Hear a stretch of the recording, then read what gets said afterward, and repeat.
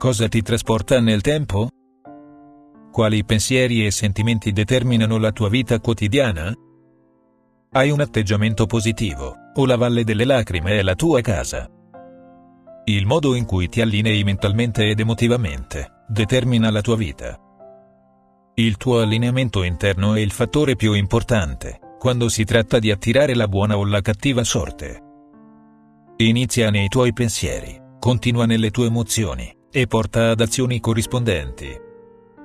Quindi osserva te stesso, esplora le cause alla base del tuo pensiero. Immergiti nella tua storia, e porta la luce dove il dolore è più grande. Si stanno compiendo passi decisivi di trasformazione, ed è essenziale che tu li faccia con piena dedizione e attenzione. Così tante persone che sono venute sulla Terra con grandi ambizioni, perdono la strada, si smarriscono e tradiscono la propria missione. Perdono la connessione interiore, la connessione con se stessi, e si lasciano trasportare da un posto all'altro come una foglia al vento. Incapaci di prendere il controllo della propria vita, rimangono alla mercé di coloro che sanno stare al gioco. Indietro amati. Se gli eventi vi travolgono, se gli scenari negativi vi travolgono, se siete inondati di opinioni, allora è il momento di farsi da parte. Risolvi tutto controlla tutto per il suo vero contenuto. Riacquista la sovranità sui tuoi pensieri e sulle tue emozioni. Rilascia ciò che ti fa sentire insicuro nella luce divina. Approfitta del tuo tempo per questo lavoro. L'illuminazione non conosce fretta. L'illuminazione conosce una dedizione prolungata alla guarigione.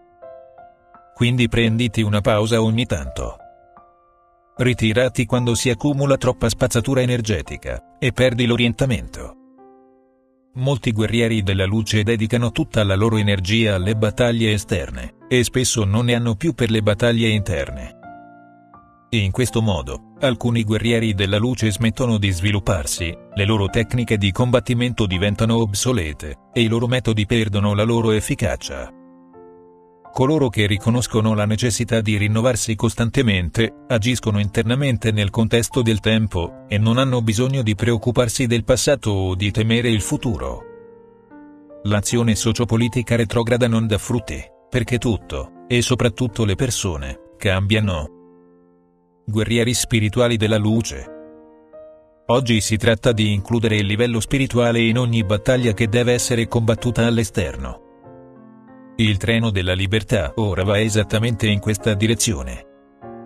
Con una mente chiara, un cuore coraggioso e una coscienza spirituale risvegliata, l'uomo è una forza che non ha bisogno di temere nessuno, e può ottenere qualsiasi cosa.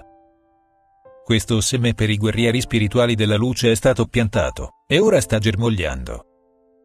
Ti incoraggio ad approfondire le ferite rimaste dai tempi antichi, perché la guarigione è il fondamento da cui puoi combattere lavorare e creare guarigione per le persone.